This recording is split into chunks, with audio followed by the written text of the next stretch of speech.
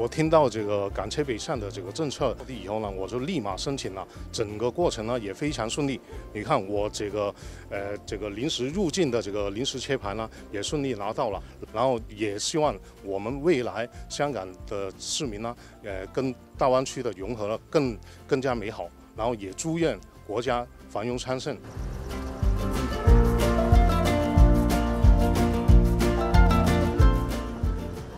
港车北上呢是一个很好的突破，呃，港车可以北上，现在呢到内地去一小时生活圈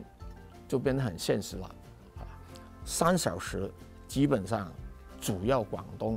都已经包含在内，那这个呢对于呃促进两地人民交往呢更方便，这个呃我觉得呢是经济发展也是社会发展，也有也也有助两地。人民交流，这个意义重大。